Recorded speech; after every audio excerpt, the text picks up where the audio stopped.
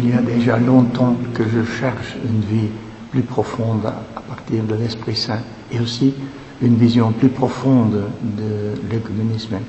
Finalement, en 2010, je suis venu pour la première fois ici. C'était pour moi vraiment une révélation. Ce qui me touche ici, c'est d'abord la liberté, la liberté des enfants de Dieu. Si on vient ici, je comprends parfaitement pourquoi les jeunes qui viennent ici retournent, parce que on ne demande pas de faire ça ou de faire ça ou de devenir membre de cette. Non, on demande qu'est-ce qu'il y a dans le plus profond de ton cœur. C'est à vous de descendre dans le plus profond de ton être. Et alors, naturellement, de trouver aussi quelqu'un qui était déjà là avant vous.